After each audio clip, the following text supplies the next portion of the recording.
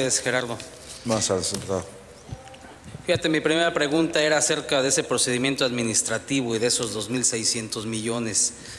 ¿Qué razón nos puedes dar en qué parte del proceso se encuentra eh, ese procedimiento que, si no mal recuerdo, está en, el, en la sala 4 del Tribunal Administrativo, si no mal recuerdo? Eso lo platicamos el año pasado.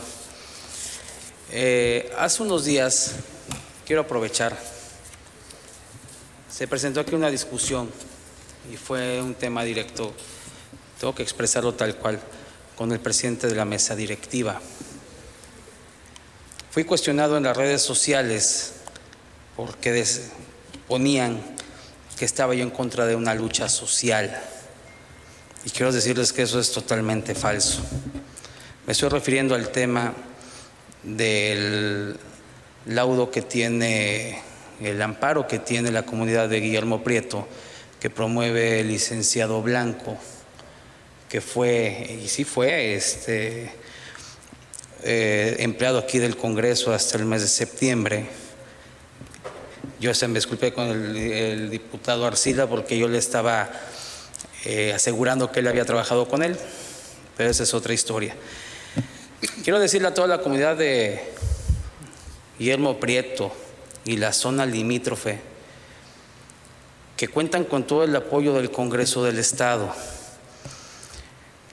A nosotros nos beneficia ese laudo, ese amparo, porque hay un tribunal federal, el cual nos está dando ese territorio como nuestro.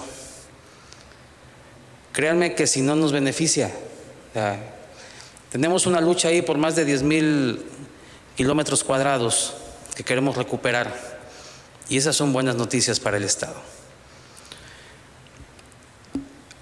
Los temas del presupuesto pues se tienen que ver en tiempo y forma.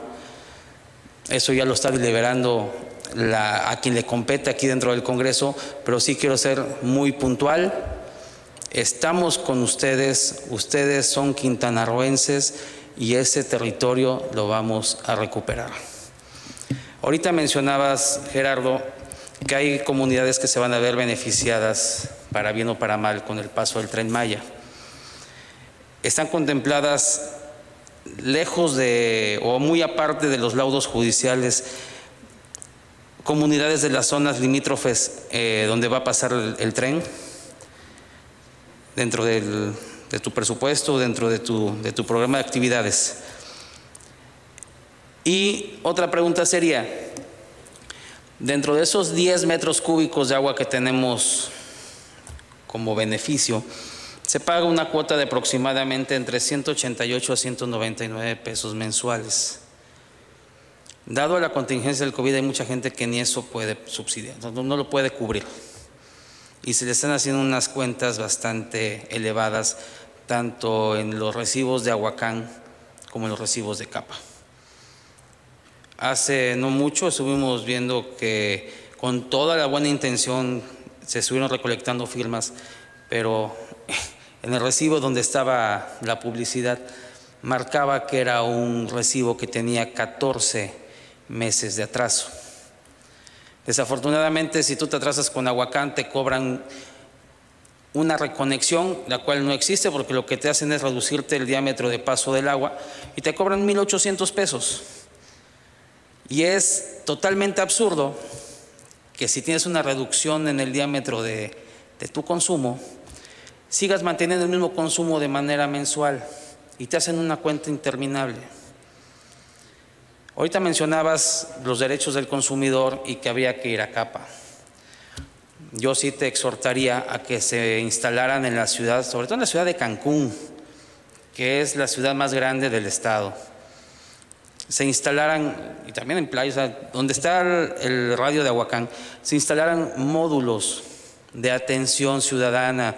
O sea, pueden ser carpas en un parque, eh, en una plaza comercial, con todas las eh, medidas sanitarias para atender a toda esa población que se ha habido afectada por ese tipo de cobros excesivos. Sí han caído en mora, pero no hay forma de que te puedan este, regularizar. A un servidor le pasó un, un tema hace dos años con Aguacán y no me quedó más que pagarles lo que ellos querían, totalmente cerrados. Pero si ustedes tienen la sartén por el mango, como los previsores del servicio, que ya actualmente es un derecho humano, sí te pediría que hagan algo para sacar de estos adeudos que no son lo que consumen los ciudadanos, quitárselos. Vamos a ganarnos a toda esa población que ha caído en este tipo de moras y no ha sido por gusto, ha sido tema de pandemia, tema de fugas o como comentaba Batún, el aire. A mí me llegó apenas por 70 metros cúbicos y yo sí les grabé que estaba yo recibiendo aire. Y aún así ellos no querían plasmarlo en su documentación. ¿Sería cuánto, Gerardo? Gracias. Con su permiso, diputados. es que cuando hablamos de Aguacán ya no parece comparecencia, ya parece como terapia de, de grupo esta madre, ¿no? sí. Y ante el llamado de la sociedad y del pueblo de Quintana Roo, estamos de acuerdo que Aguacán tiene que estar fuera. El personal de capa tiene toda la capacidad para poder tomar el control y darnos un servicio de calidad. ¿Sería cuánto? Muchas gracias, diputado.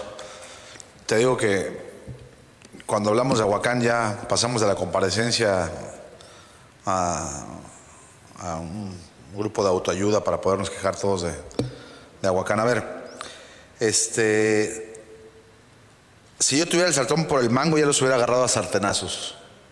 Eso que no te quede de duda. Eh, aquí lo que yo soy muy respetuoso de los tiempos que marca y que ya se han pasado las instancias judiciales. Yo he hecho en cuanto lo que lo solicité y haciendo referencia a la primera pregunta, yo le solicité intervenir las oficinas y la administración de Aguacán que garantizaran el crédito fiscal. Y eso es lo que está en suspenso y que lleva más de un año año y medio, dos años, que está en suspenso.